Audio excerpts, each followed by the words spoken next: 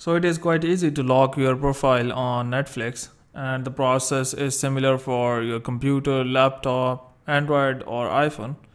So you need to simply open up your Chrome browser or any other browser. And once your browser is open, you need to go to netflix.com. Like here we go.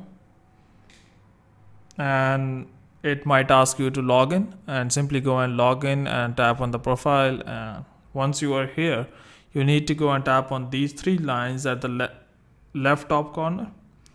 In case if you're on laptop or PC, you would see your profile icon at the right top corner.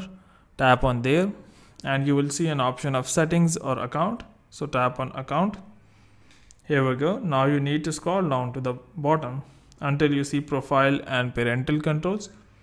And here you need to go to certain profile that you want to lock. So simply go to that profile tap on that profile. And if you scroll here you can see profile lock so it's off tap on change.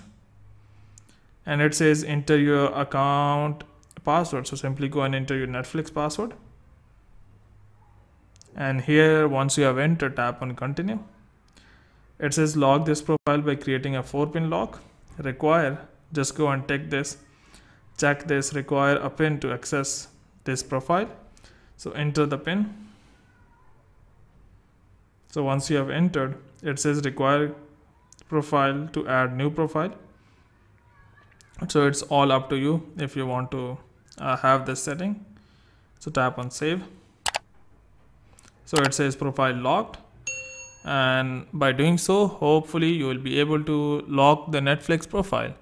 But before you go, please like, subscribe and share. Thank you.